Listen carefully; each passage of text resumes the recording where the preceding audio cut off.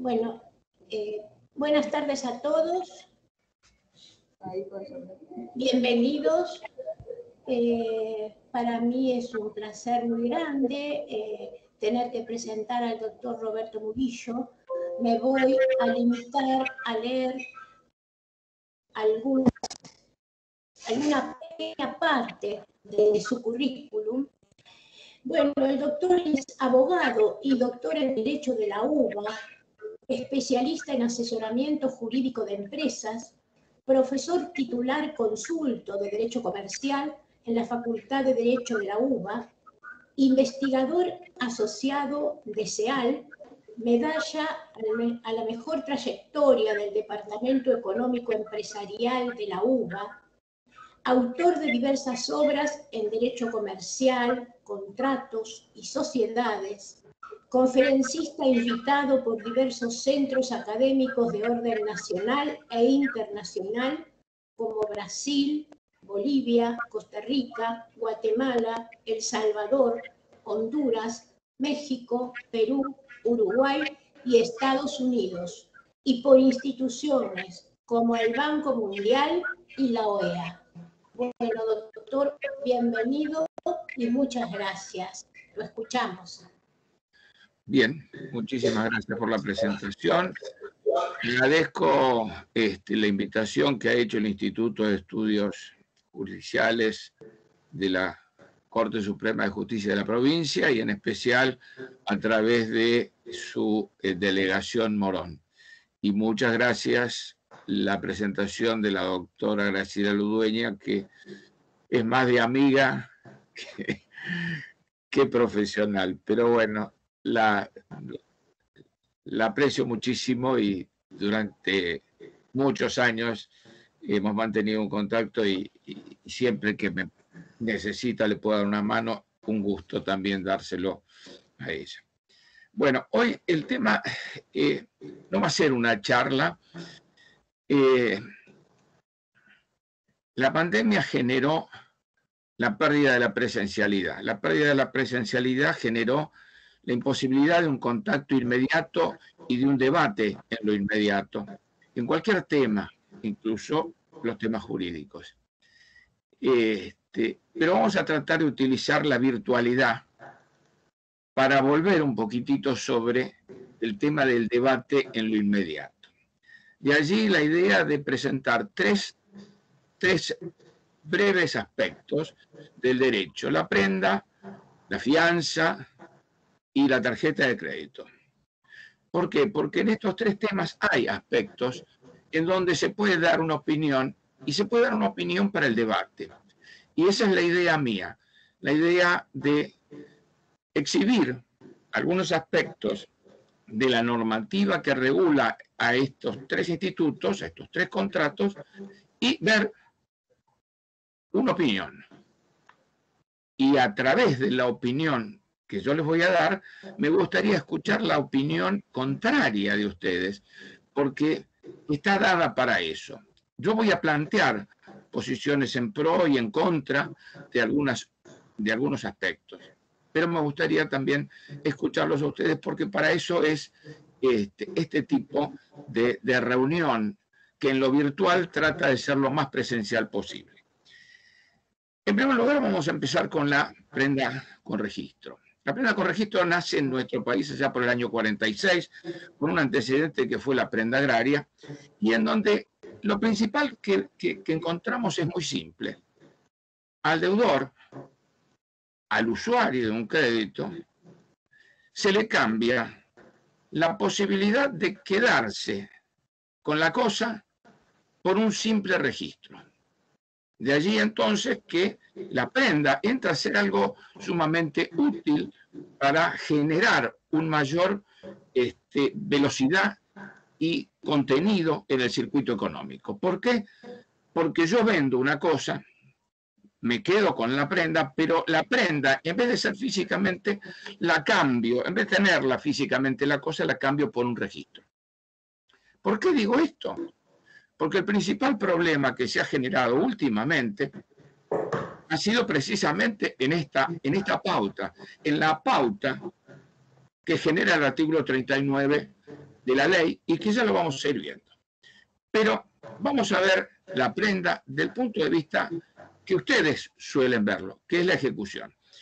En la ejecución prendaria, una ejecución muy particular, porque no solamente está regulada como una ejecución particular en los códigos de procedimiento, sino también está regulada procesalmente en la ley de fondo, en la 12962, que, que ratificó legalmente el decreto del 46. En esta ejecución prendaria hay excepciones muy limitadas. Entre estas excepciones hay dos que me gustaría analizar. Una es la excepción de pago. Ustedes van a decir, claro, que el pago se terminó. Y la renuncia al privilegio. ¿Qué pasa con la excepción de pago? La ley dice, las únicas excepciones admisibles van a ser la excepción de pago y no lo califica el pago. Toda la jurisprudencia en general de la Cámara Comercial de la provincia de Buenos Aires, la provincia de Córdoba y de Tucumán, entienden que la excepción de pago solamente es viable cuando el pago es total. El pago parcial no es válido. Sería solamente oponible luego de la sentencia cuando se hace la liquidación para cuestionar la liquidación. Y acá creo yo que hay un conflicto porque la pregunta es muy simple. Si la ley no lo califica, ¿por qué vamos a calificar el pago? ¿Por qué tiene que ser total? Después de todo, el pago es un acto jurídico y es un acto jurídico en donde hay una consensualidad, porque el deudor que paga y el acreedor que recibe. El artículo, sobre todo con el Código Civil y Comercial nuevo, el artículo 869 dice que no se admiten los pagos parciales, salvo que así lo disponga la ley o una convención entre las partes. Hay otra norma, y es la del artículo 880. El pago que satisface el interés del acreedor es válido y extingue el crédito. Y finalmente, el artículo 885 sobre el final dice que el pago eh, produce los efectos en la medida en que el acreedor se beneficia. Por lo tanto, ¿por qué le vamos a privar de esos efectos principio básico en lo que es el pago, porque vamos a impedir el pago de una cuota como defensa y decir que no tiene que ser solamente el pago, el pago total. Este es el primer aspecto que yo pongo a debate. El segundo aspecto es el de la renuncia del privilegio. Sabemos muy bien que la prenda, la prenda con registro, genera un privilegio en favor del acreedor prendario. Ahora bien, la renuncia al privilegio, tengamos en cuenta que, sobre todo, muy expresamente con lo que dice el Código Civil y Comercial, la renuncia no requiere forma, no requiere una forma específica alguna, aún, aún cuando el crédito esté instrumentado en la escritura pública. Está bien, la renuncia no se presume y los actos que permiten inducirla es restrictiva. También lo dice esto el Código Civil y Comercial. Sin embargo, ¿qué sucede cuando en un concurso de acreedores alguien se presenta a verificar que es acreedor prendario y se olvida, omite invocar el privilegio? ¿Qué sucede ahí? Hay un interesante caso del año 2001 con voto de la doctora eh, de Carluche en la Suprema Corte de Mendoza, que dice, bueno, que en este caso lo que tenemos que hacer es presumir que ha renunciado al crédito. Y entonces la pregunta que me surge a mí es la siguiente. Yo tengo el cargo, no tengo la obligación, tengo el cargo de presentarme a verificar. Yo presento y, pretendo la verificación de un crédito y me olvido de que es un privilegio. Ahora bien, el proceso de verificación no deja de ser un proceso bilateral en donde la resolución del juez va a ser juzgar en función de lo que dijo el acreedor y lo que pudo decir el síndico o el deudor concursado. Por lo tanto, puede expandir su resolución para decir, bueno, es un crédito quirografario y, se lo tiene por renunciado al privilegio. Pero ¿cuándo se lo tiene por, por renunciado al privilegio? Cuando el juez verifica esto como un crédito quirografario cuando hizo la presentación y no invocó el privilegio.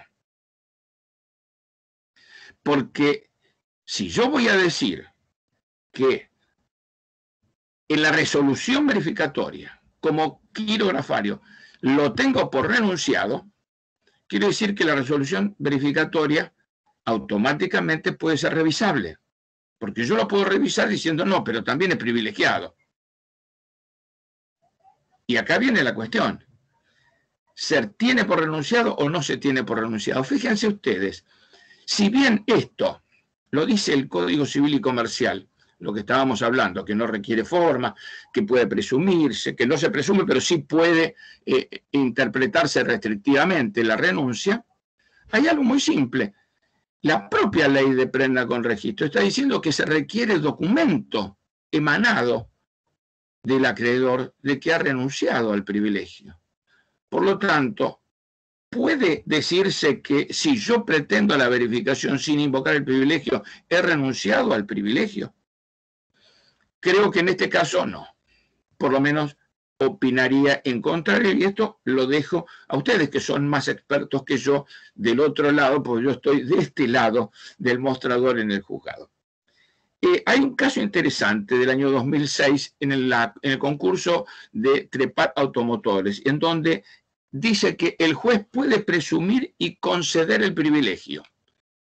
O sea, está la vereda enfrente, es el opuesto, es la otra cara de la moneda, en donde yo me presento a verificar mi olvido, no lo digo que soy privilegiado, y en lugar de el juez decir, no, lo vamos a verificar por, como quirografario porque no invocó su privilegio, no cumplió con el 32, sin embargo el juez no puede ignorar el documento que tiene delante. Y ese documento, que es un certificado de prenda con registro, es privilegiado. Entonces lo puede hacer. Se expande rompe la bilateralidad del proceso? Bueno, lo dejo a criterio de ustedes, pero me parece mucho más lógico. ¿Por qué? Porque en el fondo también tenemos que pensar que aquel que se presentó a verificar y omitió el privilegio, a lo mejor es una omisión dolosa. ¿Por qué? Porque quiere acumular voto para el eventual voto del acuerdo y de esa manera no aparecer como privilegiado para impedir ese voto se los dejo ahí este, para el debate, porque voy a abrir el debate en un montón de cosas. Sí voy a, resaltar una, una, cosa que muy pocas veces se ha visto en, en, en, el manejo de la prenda con registro, tanto a nivel judicial como a nivel particular, a nivel comercial. Y es el pago por depósito administrativo. Esto no ha sido utilizado por casi nadie, muy pocas veces. ¿Por qué? Porque el deudor, ante la negativa del acreedor de recibir o que ha desaparecido de su domicilio, quiere pagar, quiere liberarse de, ese, gravamen prendario.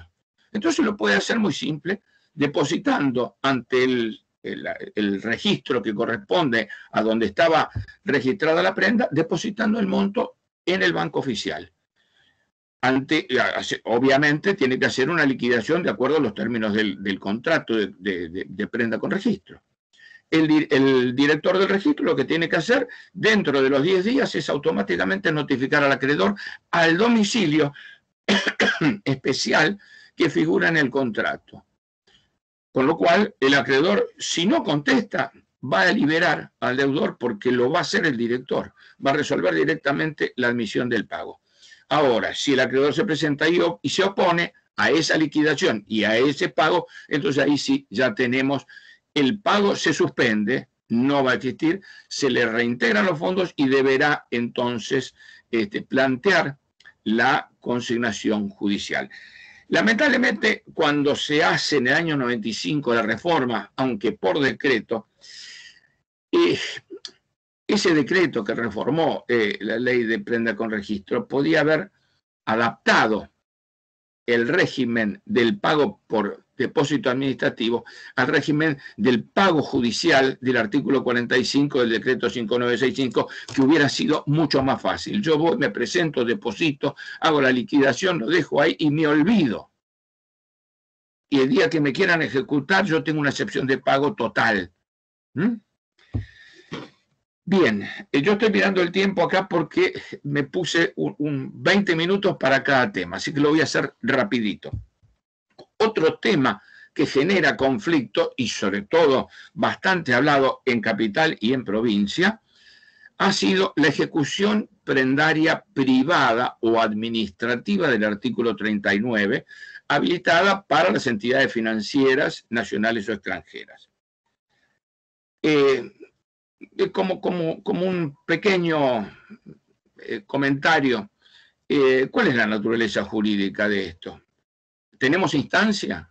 ¿Hay una instancia judicial? Sí, en realidad hay instancia judicial. ¿Hay litigio? No, no hay litigio. No hay litigio porque no se sustancia la orden de secuestro, porque no hay actividad contestataria del deudor. Y esto tengámoslo presente. Hay instancia, sí, pero no tenemos litigio. ¿Y por qué resalto esto? Porque eh, en un momento determinado la jurisprudencia entendió bien lo que es el artículo 39. Es aquello que habíamos hablado al comienzo. ¿Por qué la prenda con registro? Porque se la doy al deudor la posibilidad de utilizar la cosa durante todo el tiempo que quiera a cambio de un simple papelito registrado. Evito que el deudor se vea siendo titular impedido de utilizar la cosa. Y eso es un beneficio que nadie lo mira, nadie lo ve. ¿Y qué hace el artículo 39? Y por eso digo que hay instancia, pero no hay litigio. Porque lo que el juez hace, la intervención judicial, el concurso se limita a facilitarle al acreedor la venta de la cosa. El viejo artículo 585 del Código de Comercio, que estaba previsto para la prenda común, la prenda común, aquella que yo tengo la cosa y bueno, no me pagan y la remato. Bueno, es volver a ese tema es volver, porque el artículo 585 del Código de Comercio está expresamente referenciado en la ley de prenda con registro. Hoy, obviamente, no existe y vamos a hacer de aplicación el artículo 2229 del Código Civil Comercial, cosa que ha mejorado todo el esquema y ha adoptado algunas soluciones que requería el esquema del artículo 39. Entre, entre otras, la posibilidad de que haya una evaluación de la cosa para que el acreedor se la quede con esa evaluación o eventualmente que la pueda comprar. Entonces, más allá de esto, ¿por qué vengo yo a tratar este tema? Porque últimamente, con la vigencia de la ley 24240, la reforma que tuvo el artículo 36, la jurisprudencia ha empezado a decir, no, el artículo 39, la ejecución, la ejecución privada, la, la demanda de secuestro de la cosa prendada, debe tramitar ante el domicilio real del deudor.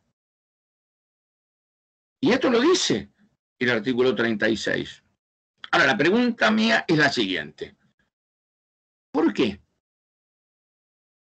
Ya sé que los derechos de usuarios y consumidores están constitucionalmente resguardados, pero ¿qué estoy resguardando imponiéndole al acreedor a que la acción de secuestro la plantee en el domicilio real del deudor? Si no tenemos litigio. Y el artículo 36 está previsto para los litigios, expresamente indicando que cuando el litigio es por el acreedor contra el deudor, ahí sí lo va a tener que plantear ante el domicilio real del deudor, del usuario y consumidor, y no ante cualquier domicilio especial que se haya pactado.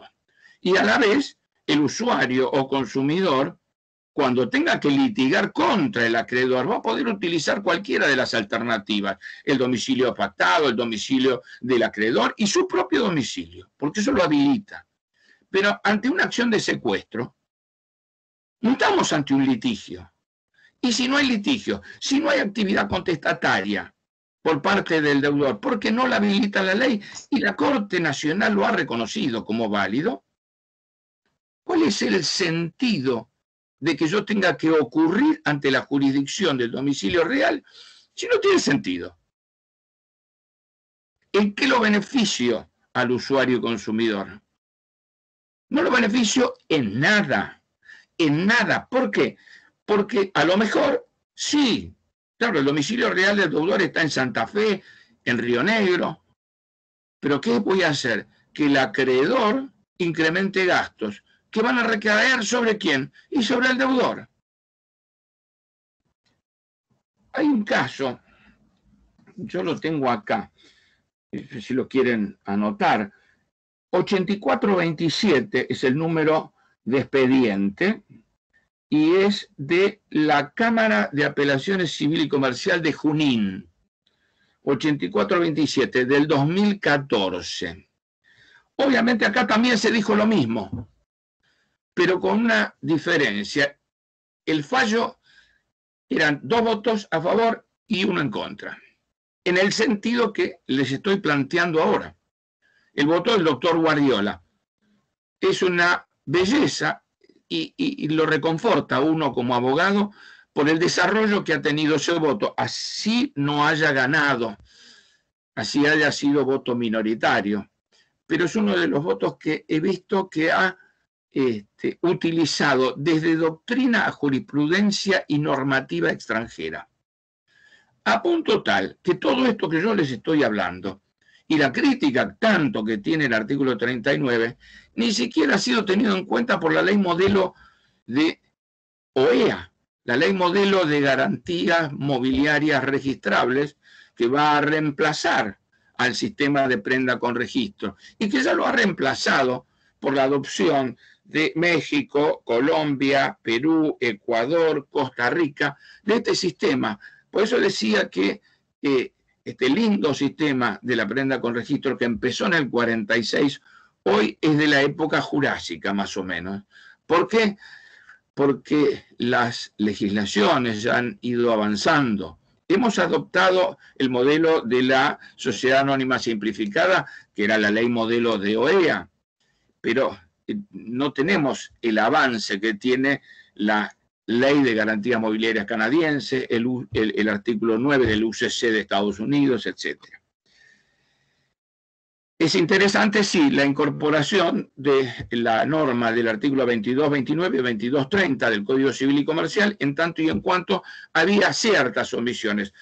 Primero, en lo que les decía respecto de la posibilidad de venta en la subasta, con la posibilidad de que el acreedor también lo adquiera, por un lado, y por el otro lado, la incorporación, el 2230, de la obligación de rendir cuentas, que no estaba previsto. El acreedor remataba, pero no tenía una obligación específica de rendir cuentas. La única obligación específica de rendir cuentas estaba recién en el artículo 23 de la ley de concursos y quiebras, en donde el acreedor que había rematado, si no rendía cuentas, iba a ser intimado por el síndico. Pero primero debían intimarlo, no estaba obligado a rendir cuentas, cosa que entendía de mi parte que no era así. ¿Por qué? Porque el artículo 68 y siguientes del Código de Comercio sí obligaba a rendir cuentas cuando uno terminaba el negocio y de algún modo la ejecución prendaria era un negocio para las partes y debió haber rendido cuentas de esa manera. Bien, hasta acá hemos visto algunos, algunos temas que son interesantes para el debate. Voy a pasar ahora para no, que ya estoy en 25 minutos, me excedí un poquitito.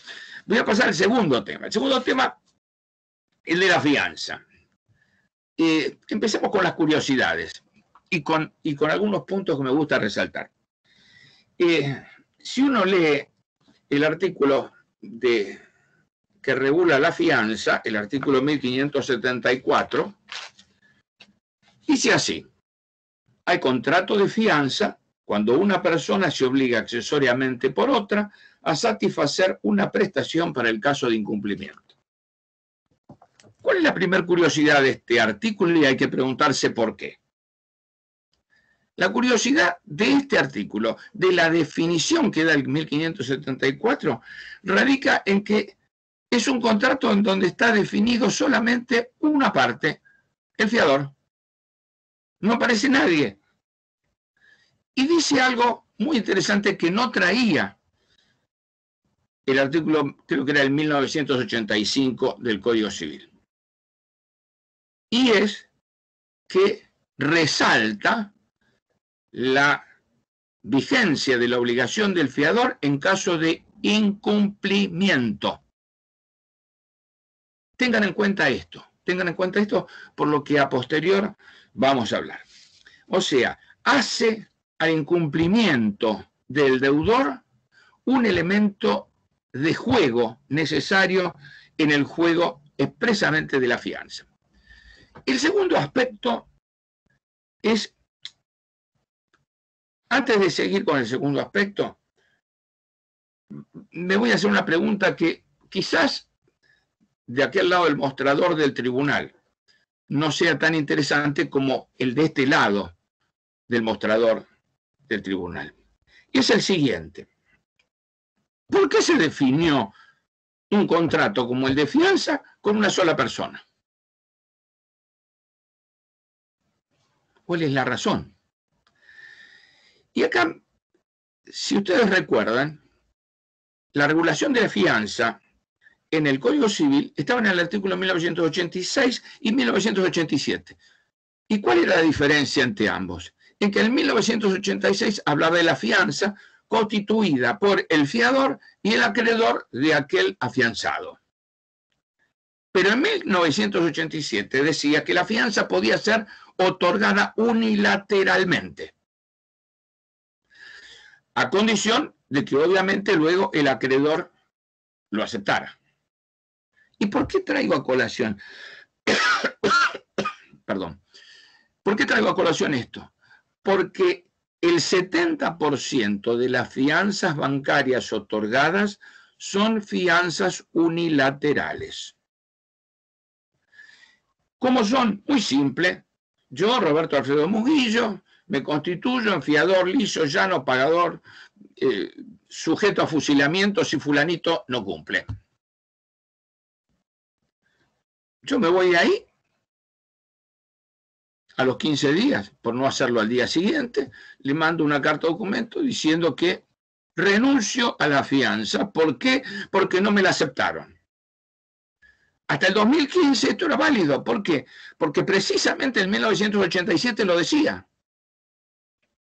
Ahora bien, si nosotros vamos a cómo se otorga el consentimiento de los contratos, y obviamente también pudo haber sido esto, tiene que considerarse como una oferta no aceptada porque el acreedor, el banco, no me notificó a mí que lo aceptaba.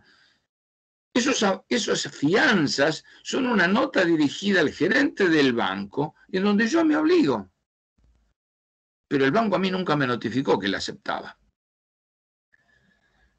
Bueno, esto era lo que quería también resaltarles un poquito en cuanto a mi interpretación 1574, al ser definido solamente con una persona que es la del fiador. Hay otro aspecto que también cambia el sistema del 1995 del Código Civil. Y es el siguiente, el 1575, que habla del monto. Y cuando habla del monto, cuando habla del monto, dice que la obligación del fiador debe ser, debe ser equivalente a la del deudor o menor. ¿Y cómo lo dice? Imperativamente. Por lo tanto, debe entenderse que la disposición del 1575 es una norma imperativa. Y esto también lo tenemos que tener en cuenta. Y no puede, también dice el 1575, más allá de hablar del monto, dice que no puede eh, eh, ajustarse o pactarse otras pautas más onerosas de, aquel monto. Un tercer aspecto, y que también me gustaría que lo tengan en cuenta, porque va a ser motivo de un debate que voy a plantear en el 1596 y en el 1597 de fianza, es el de las defensas. El artículo 1587 del Código Civil y Comercial, cuando habla de las defensas, dice que el fiador puede oponer todas las excepciones y defensas propias y las que le correspondan al deudor afianzado, aunque éste las haya renunciado. Esto es importante. Esto es importante porque no hay defensas personales en la parte económica, en la parte comercial, en la parte civil, en un contrato, que puedan ser exclusivas del deudor. Porque todas las defensas que el deudor pueda oponer en función de la garantía otorgada, las puede utilizar el fiador. Hay otro aspecto y que también creo que hay una falla acá en el Código Civil y Comercial, y es que el fiador que paga se subroga en los derechos del acreedor. Y acá esto no hay ninguna, ninguna, ninguna novedad, no hay nada nuevo bajo el sol. Pero, eso sí, el código le va a cargar una obligación al fiador, y esto es que si cumple con la obligación, cumpliendo con la garantía otorgada, debe notificar al deudor. De lo contrario, si el deudor paga al acreedor y este le acepta, el fiador no va a poder reclamar contra él. Y la, el defecto es en cuanto a la extinción de la fianza. El artículo 1596, el artículo 1596 dice que la fianza se extingue por las siguientes causales especiales. Inciso A. Si por el hecho del acreedor no puede hacerse efectiva la subrogación del fiador en las garantías reales o privilegios que accedían al crédito al tiempo de la constitución de la fianza. Solamente por impedir la subrogación en las garantías. Y si me impide a mí este, la actitud del acreedor por ejemplo, eh, salí como fiador en una deuda un pagaré y el acreedor recibe el pago, pero se le quema el pagaré. Ahí no tengo garantía que, se me haya visto impedida por el acreedor. directamente me han impedido el uso, el uso del crédito que estaba instrumentado en ese pagaré. O sea, Acá no es solamente que se me impide la subrogación de las garantías. Si me impide la subrogación en el crédito que yo estoy cancelando, también tendría que darse por cancelada la fianza. ¿De acuerdo? El inciso D es otro aspecto que me trae a colación un trabajo que hace muchos años había presentado en función de los artículos 2015 y 2018 del Código Civil este, de Vélez. En aquel momento, todo el mundo sostiene que la fianza es un contrato unilateral. Yo entiendo que hay, hay, una bilateralidad dentro del contrato de fianza porque el acreedor tiene obligaciones. Fíjense que tiene la obligación de conservar todas las garantías que se le han otorgado, tiene la obligación de conservar el documento que pueda ser base del crédito. Tiene la obligación de ser diligente. ¿Por qué? Porque el 2015 y el 2018 decían precisamente que si el acreedor no era diligente en la cobranza del crédito y el deudor entraba en cesación de pagos, en concurso, las fianzas, el fiador se liberaba. Y en función, entonces, de estas dos disposiciones del Código Civil, yo decía, bueno, ¿y por qué no aplicamos el 1204? Porque hay obligación entonces, hay una obligación de diligencia del acreedor. Entonces lo puedo intimar. Y lo intimo que en el término de 15 días automáticamente proceda a ejecutar el crédito. De lo contrario, doy por resuelta la fianza. Obviamente no tuve mucho éxito porque recibí muchos golpes con estas ponencias, pero me parece que alguien lo debe haber escuchado, porque en el inciso D, en el 1596, precisamente se aplica esta disposición, esta, esta, idea que había tenido en algún momento, en tanto si el acreedor no inicia acción judicial contra el deudor dentro de los, no fueron 15, fueron 60 días de ser intimado, la fianza se extingue. Y también se va a extinguir si iniciado el juicio este perime. Y también se va a extinguir en este caso. Eh, y lo más lindo, lo más, interesante para el debate, porque da para bastante, es el, eh, es el 1597, en donde también se extingue la fianza por novación. Y acá, ¿cuál es la novedad? La novedad es el segundo párrafo. El segundo párrafo dice que la fianza no se extingue por novación producida por el acuerdo preventivo homologado del deudor, aun cuando no se haya hecho reserva de acciones o derechos contra el fiador. Y esto trae a colación la disposición del artículo 55 de la ley de concursos y quiebra, que expresamente dice que el acuerdo homologado produce la novación de todas las obligaciones anteriores del deudor concursado, pero deja a salvo y la responsabilidad de los fiadores y codeudores solidarios. ¿Cómo se entendió esta, disposición del artículo 55 de la ley de concursos y quiebra previo, y va, digo, previo al 2015, previo al Código Civil y Comercial, y se sigue sosteniendo todavía del mismo modo. La jurisprudencia entendió que fiadores simples, solidarios, principal pagadores, codeudores solidarios, siguen obligados por el total de la deuda original. Una de las circunstancias, por ejemplo, este, eh, Trufat, Dorente, este, Heredia, eh, casi todos los, eh, Marcelo Gebhardt,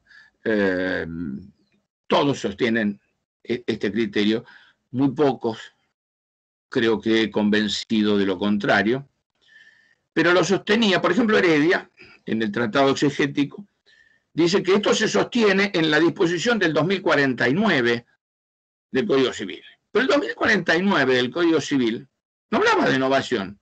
El 2049 del Código Civil hablaba de la remisión de deuda total o parcial. Y decía que en ese caso este, se extingue la fianza, excepto en acuerdos de acreedores.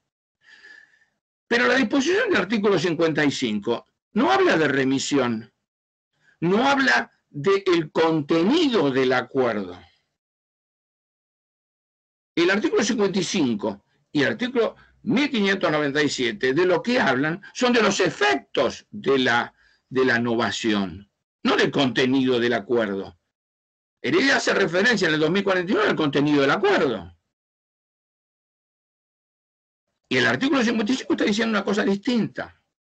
Está diciendo el acuerdo produce estos efectos, que es la innovación, punto. Entonces, acá viene un choque partiendo de un simple concepto. El artículo 55 no habla de monto y tampoco habla de monto el 1597.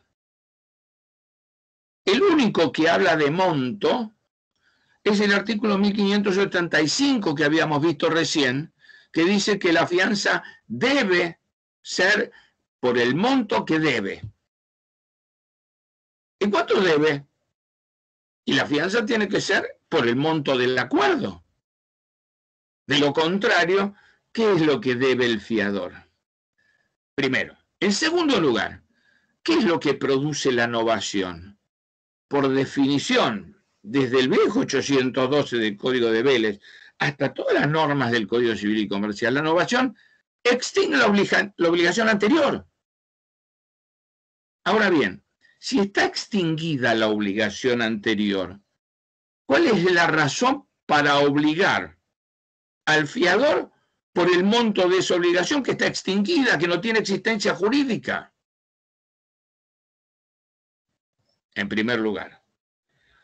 En segundo lugar, ¿cuál es la causa que justifique obligar al fiador por el valor de la, obligación garantizada original? Hay dos normas, el 726 y el, 2000, el 1013, del Código Civil y Comercial nuevo, que dice que la causa debe existir al momento de la celebración, antes y durante, hasta el momento que se extinga la obligación.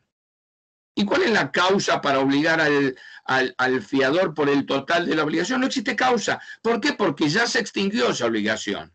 Y se extingue para todos. ¿Por qué? Porque si yo quiero ejecutar al deudor concursado por el 100% de la obligación, el deudor concursado, ¿qué me va a mostrar? Un papelito que dice acuerdo homologado por el juez. ¿O no?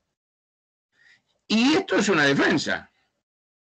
Y si yo voy a las normas del 1587, todas las defensas personales del fiador y las del deudor las puede invocar el fiador.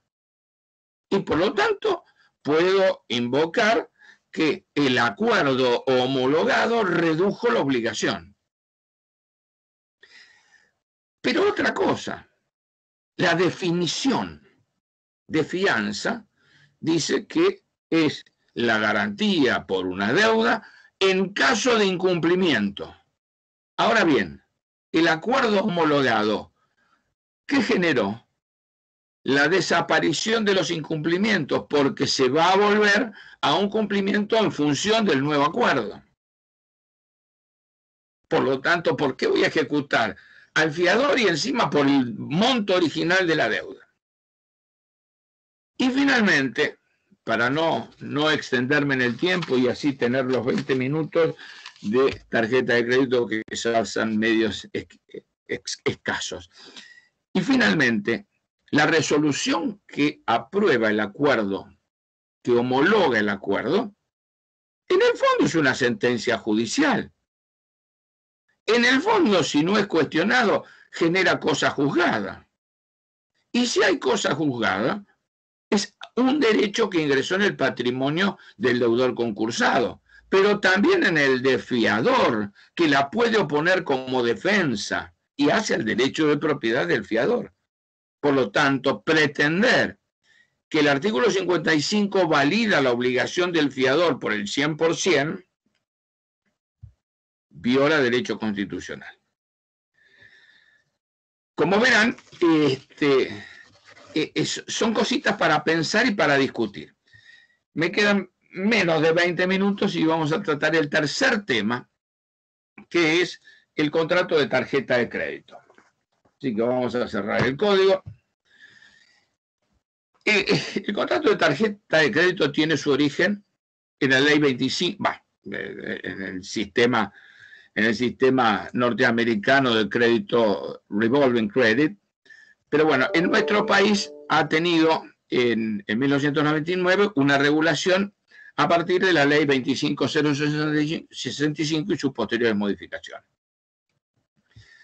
Una, ley que ha tenido sus horrores, por no decir errores, este, y que en realidad ha sido una mezcla de distintos proyectos que había y que pasaron, pasaron con los defectos que tienen, hasta definir con la misma palabra que se quiere definir, empezando en el artículo 1.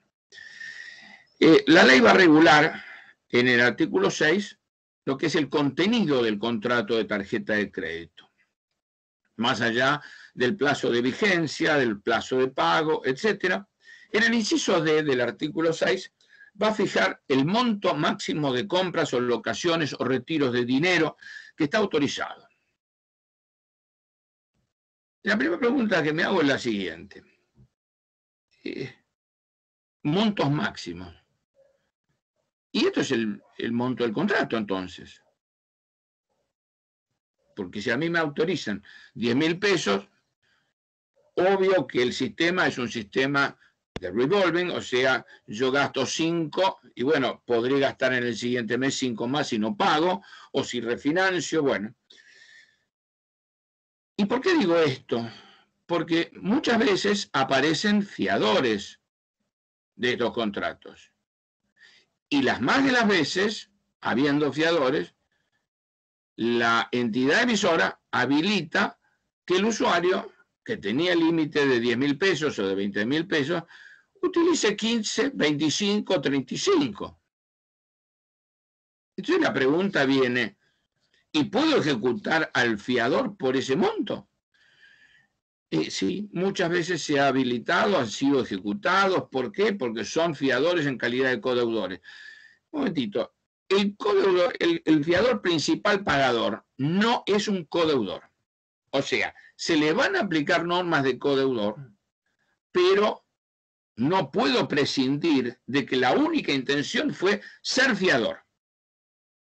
Entonces, si voy a ser fiador, aunque me apliquen disposiciones de los codeudores, yo tengo que regir mis derechos y mis obligaciones por el régimen de la fianza.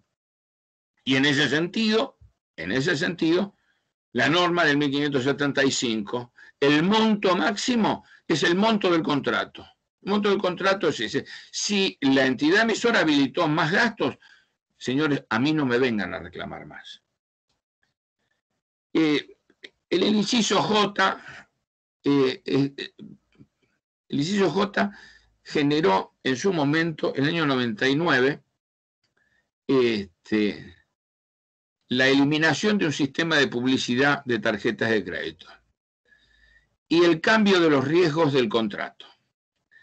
El inciso J dice que el contrato debe incluir los importes por seguro de vida o cobertura de consumos en caso de robo, hurto o pérdida.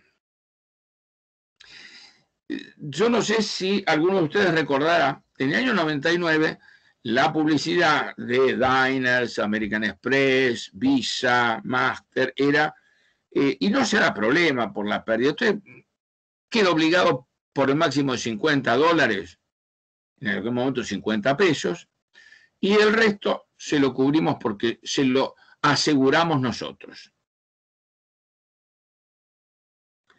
¿Qué pasó?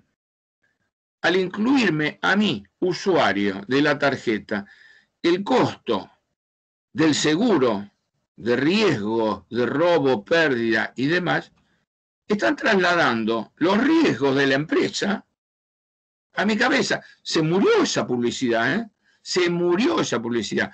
Yo sigo pagando la cuota del seguro que va a cobrar quién? La entidad emisora. En el año 2001, bueno, eso después se lo, se voy a contar porque es una anécdota. Eh, yo hice lo siguiente. Dije que había una estafa permanente de las entidades emisoras. ¿Por qué? Muy simple, porque primero me cargaban a mí el riesgo del negocio.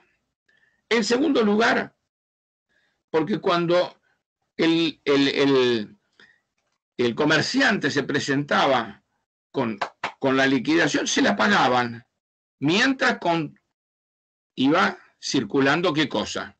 Y ya ahora vamos a ver un tema que se llama contracargos. Iba circulando la, la denuncia, la investigación y demás. Claro, a los tres meses saltaba con que era una tarjeta robada, copiada, etc. ¿Y qué hacía la entidad emisora? Muy simple. A los 30 días de haber denunciado yo el robo, cobraba el seguro. Y a los tres meses le debitaba al comerciante la liquidación que le había pagado. ¿Por qué? Porque esa tarjeta era robada. Sin embargo, al comienzo, cuando pasaron la tarjetita, el sistema se lo habilitó. ¿Por qué se lo iban a quitar? Y acá viene el famoso contracargo.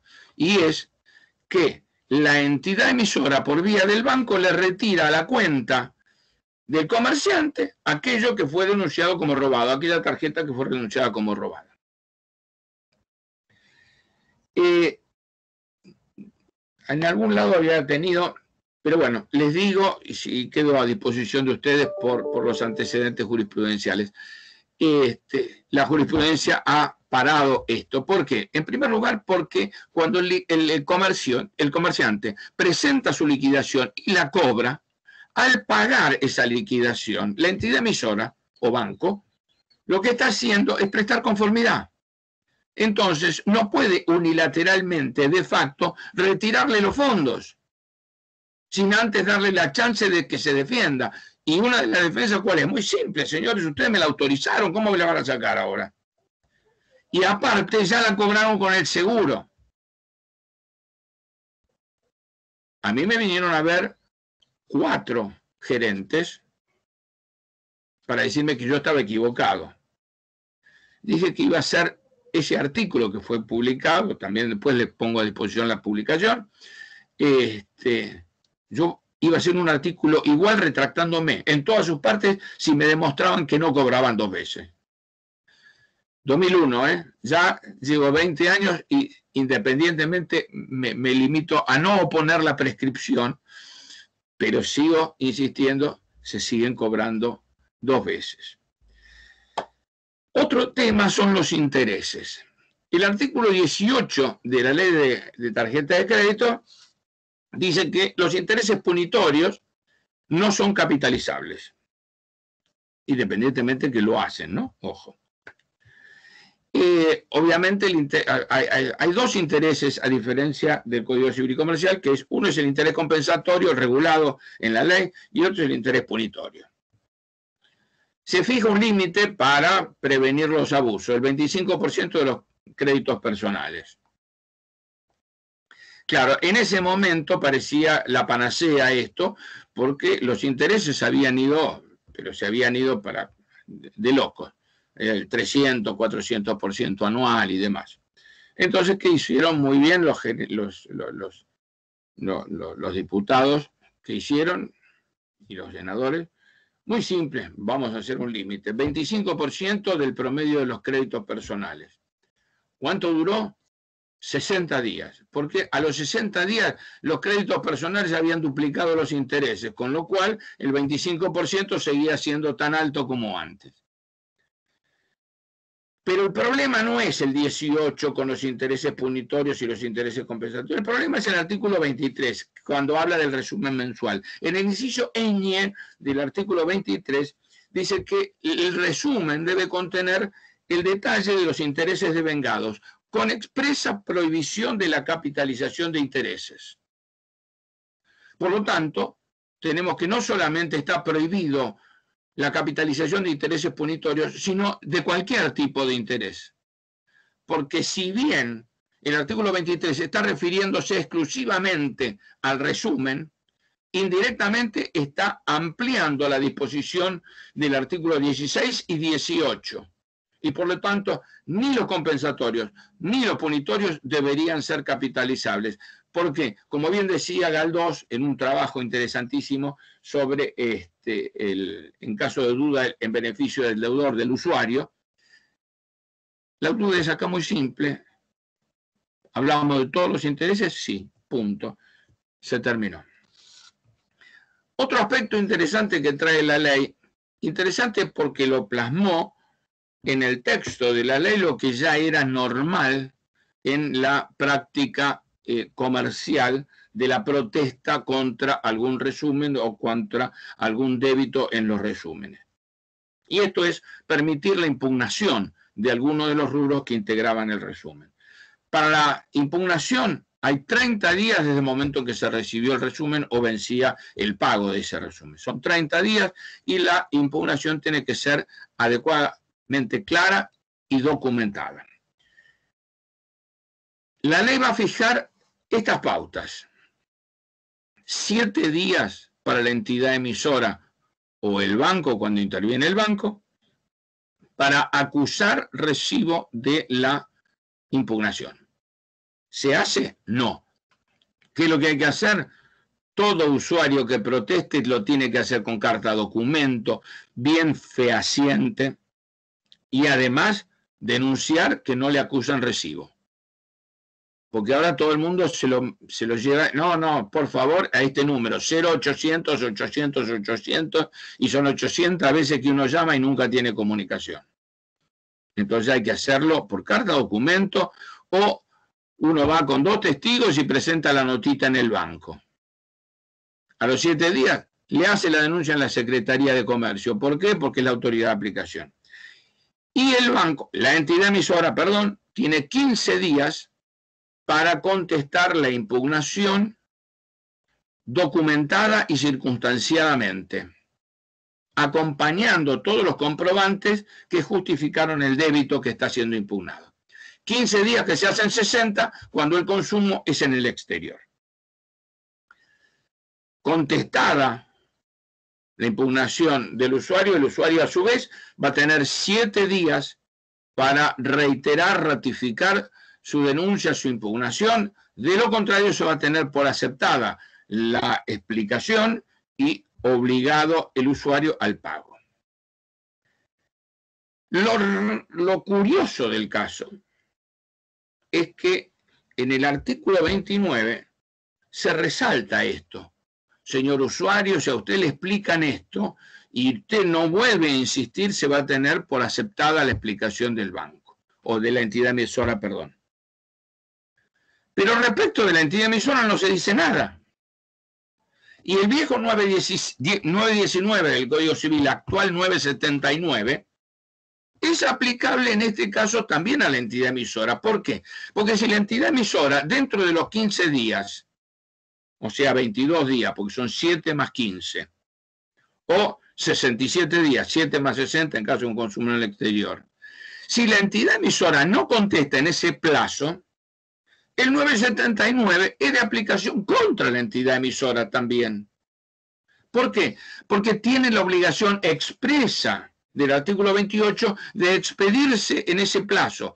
Y si no se expide en ese plazo, la observación se tendrá por válida en beneficio del usuario y consumidor. Artículo 979, que es muchas veces olvidado. Y el pago mínimo no significa el pago mínimo o el pago de todos los demás consumos, con excepción de este, no va a significar aceptación de la deuda del resumen. La ley tiene, estamos a dos minutos, la ley tiene una regulación especial en el artículo 39 y siguiente sobre la preparación de la vía ejecutiva. Eh, se los dejo a la lectura de ustedes porque el artículo 39 y siguiente es eh, la mejor invitación para que nadie pueda utilizar la preparación de la vía ejecutiva o por lo menos darle a todos los usuarios la posibilidad de, este, de escudarse en, en esa misma norma para no pagar la deuda, para no ser ejecutado, perdón. Y se los voy a leer porque es un poquito risueño esto. El artículo 39 dice que el emisor puede preparar la vía ejecutiva contra el titular de conformidad a lo prescripto por las leyes procesales vigentes en el lugar en que se acciona, pidiendo el reconocimiento judicial de A. Contrato de emisión de tarjeta de crédito instrumentado en legal forma. Primer error. En realidad el reconocimiento judicial de la firma del contrato, no el contrato. Qué lindo, colorcito amarillo, verde B. El resumen de cuentas que reúna la totalidad de los requisitos legales. Después dice, por su parte el emisor deberá acompañar. A, de nuevo, segundo inciso A. Como si el emisor no hubiera sido el que tiene que acompañar el contrato de emisión y el resumen. Declaración jurada sobre la existencia de denuncia fundada y válida previa a la mora por parte del titular o del adicional por extravío o sustracción. Automáticamente, el que lee esto dice, esto es una farra. ¿Por qué? Yo tengo la tarjeta. Voy caminando por Alvear, entro en todos esos negocios chiquititos también puestos y compro todo, todo, hasta que la tarjeta la tengo que poner en un vaso de agua y va a salir humo porque la gasté. Y llego a la esquina de Alvear y Callao y digo, oh, se me perdió la tarjeta, voy a hacer la denuncia. Automáticamente, si hay denuncia, no hay preparación de la vía ejecutiva. ¿Por qué? Porque este documento es imposible que se presente. Declaración jurada de la existencia de denuncia.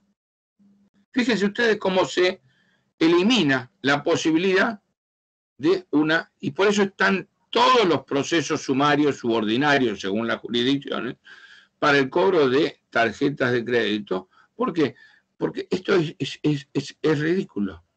Es ridículo. Eh, Yo no sé si quieren que abramos el debate, charlar, preguntas. Eh, hay la prescripción, el artículo 47, al año prescribe la acción ejecutiva, a los tres años las acciones ordinarias. Eh, en primer lugar, no hay acción ejecutiva. Hay una preparación de la vía ejecutiva. Y, en segundo lugar, no prescribe, la, no prescribe la acción ejecutiva. Porque siempre yo tengo la acción ordinaria, la acción de fondo, lo que caduca la posibilidad de preparar la vía ejecutiva en todo caso. Y a los tres años las acciones ordinarias. Y, tampoco hay acciones ordinarias, hay acciones de fondo.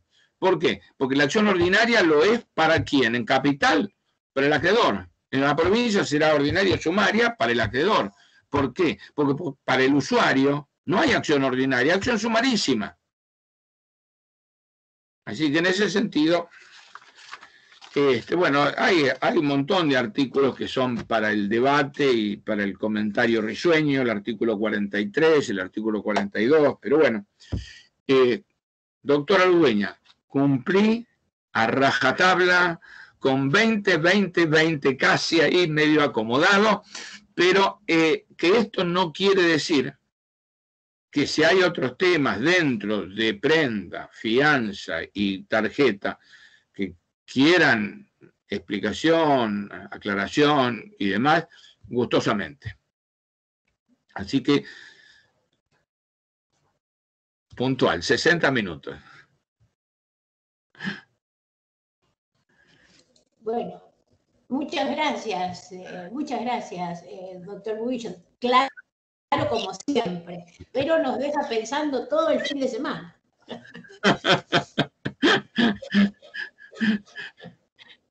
Bueno, le agradecemos un montón. Muchísimas gracias por su participación y, la brillantez que lo No, es un gusto. Vos sabés, eh, eh, Graciela, que la colaboración que pueda darles siempre es un gusto. Siempre es un gusto. Y trato de, que un tema serio, complejo, a veces sea este, medio risueño para, para, para, que sea alegre también la, el debate. Pero en, serio, si hay preguntas si hay preguntas, ah, yo quedo, a disposición si quieren, ¿eh? no, no tengo problema.